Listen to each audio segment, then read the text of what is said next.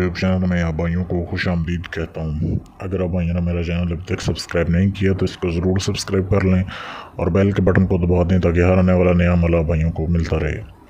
آج کے عمل میں بہت ہی ایک زبردست میں طریقہ بتانے جا رہا ہوں آپ کو۔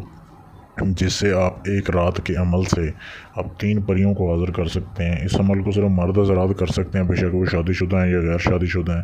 کیونکہ اس عمل میں تین پریاں حاضر ہوتی ہیں، انسانی شکل میں جوان لڑکیوں کی شکل میں حاضر ہوتی ہیں اور ان سے کسی ایک سے ہم بستری کرنی پڑتی ہے۔ اس کے بعد اپنا کوئی بھی جائز ناجائز کام آپ اس سے لے سکتے ہیں، کوئی بھی کام کروا سکتے ہیں۔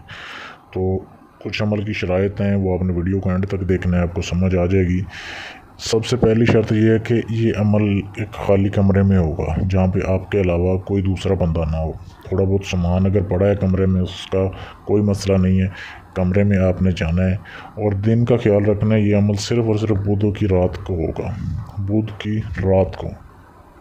یعنی کہ ویڈنسڈے کی رات کو یہ عمل آپ کر سکو گے۔ ہفتے میں صرف ایک بار عمل ہوتا ہے اور ہفتے میں ایک بار اسے آپ حاضر کر سکتے ہیں ان پریوں کو۔ آپ نے کن کن چیزوں کا خیال رکھنا ہے؟ سب سے پہلے تو آپ نے جس دن عمل کرنا ہے، اس دن گوشت استعمال نہیں کرنا، گوشت نہیں کھانا، کسی قسم کا کوئی گوشت آپ نہ کھائیں عمل کے دوران، عمل والے دن جس دن رات کو آپ نے عمل کرنا ہے۔ اس کے بعد رات کو، عشاء کے بعد آپ کسی بھی ٹائم اس عمل کو شروع کر سکتے ہیں۔ عشاء کے بعد آپ کمرے میں چلے جائیں، آپ کو کچھ ڈسٹرب نہ کریں۔ اپنے کالے رنگ کا سوٹ استعمال کرنا ہے، کالے رنگ کے کپڑے پہننے ہیں۔ بالکل کالے رنگ کے ہوں، کوئی دوسرا کلر آپ نے نہیں پہننا یہ پہننے کے بعد آپ نے کمرے میں چلے جانا ہے۔ اس کے بعد آپ نے کالے رنگ کی سیاہی سے لکھنے والا پین یا پوائنٹر حاصل کرنا ہے۔ کمرے میں بیٹھ جانا ہے۔ زمین کے اوپر بیٹھ کے یہ عمل ہوگا۔ زمین کے اوپر بیٹھ جانا ہے۔ آپ نے اپنے قریب ایک دھونی چلا لینی ہے سندل کی۔ سندل کی دھونی جلا لیں۔ اگر دھونی نہ ملے تو سندل کی اگربتی بھی جلا سکتے ہیں۔ آپ نے یہ نقش اپنے بائیں ہاتھ کے اوپر لکھنا ہے۔ یہ جو نقش دیا جا رہا ہے، بالکل جیسے دیا ہوا ہے، آپ نے اپنے بائیں ہاتھ کے اوپر یہ نقش لکھنا ہے۔ نقش لکھنے کے بعد یہ آپ کا کام پورا ہوا، اس کے بعد آپ نے یہ عبارت پڑھنی ہے جو آپ کے سامنے دی ہوئی ہے۔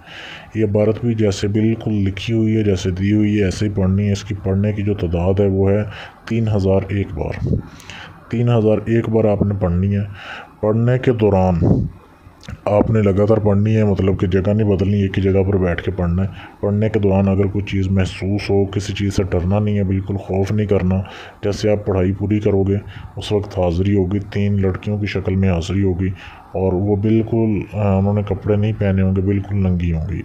تو آپ نے کوئی ڈرنا نہیں، آپ کو پوچھیں گے کہ کیوں حاضر کیا تو آپ نے کہنا کہ میں اپنا یہ فلانا کام کروانا چاہتا ہوں، جو آپ کام کروانا چاہتے ہیں وہ بتا دیں۔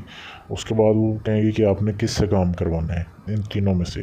تو جو آپ کو سب سے زیادہ خوبصورت لگے، جس سے آپ کام کروانا چاہتے ہیں، جس سے آپ ہم بستری کروانا چاہتے ہیں، ان سے آپ، ان میں سے ایک آپ بتا دیں، اس کے بعد اسے ہم بستری کریں اور وہ آپ کا کام کرے گی ہم بستری کرنے کے بعد۔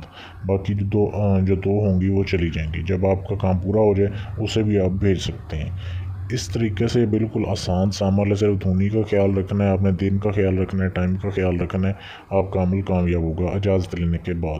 بہت ہی لاجواب عمل ہے، اس کو کریں۔ اور اگر آپ چاہتے ہیں کہ سفریوں کا ٹرانسفر آپ کو پوری زندگی کے لیے مل جائے یعنی عمل میں کروں، حاضری آپ کے پاس ہو جائے، جب دل کرے آپ اس کو حاضر کر سکتے ہیں، یا کوئی بھی جائز ناجائز کام کروانے کے لیے آپ مجھ سے رابطہ کر سکتے ہیں، میرے یہ دیے گئے نمبر پہ آپ مجھے میسج کر سکتے ہیں، واٹس ایپ کے اوپر۔ اجازت لینے کے لیے آپ اس پہ میسج کر سکتے ہیں۔